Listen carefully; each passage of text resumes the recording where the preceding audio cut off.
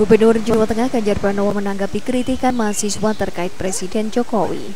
Ganjar menghimbau agar kritikan disampaikan lebih santun dan tidak perlu turun ke jalan, mengingat saat ini masa pandemi.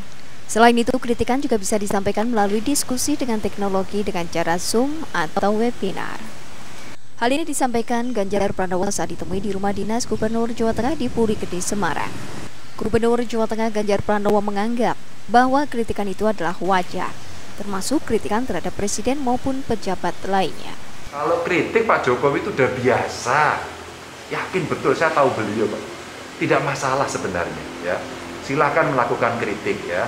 Dan ngobrol menurut saya jauh lebih baik. Komunikasi, menyampaikan apa yang kemudian ingin disampaikan, menurut saya itu baik. Tapi kalau kemudian harus turun ke jalan, menurut saya jangan. Karena kondisinya lagi COVID, itu aja.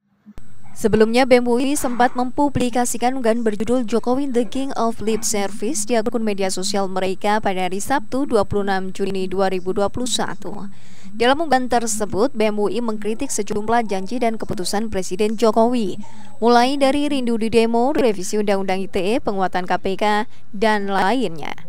Tak berselang lama muncul kritikan dari BEM UNES yang diunggah melalui akun Instagram @bemkmunes. Kritikan ini ditujukan untuk Wakil Presiden Ma'ruf Amin dan Ketua DPR RI Puan Maharani.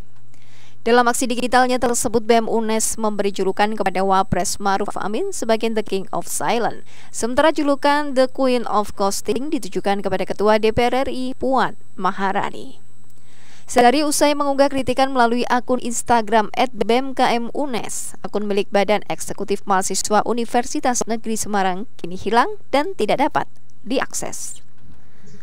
Astika Daniar, Kompas TV, Semarang, Jawa Tengah.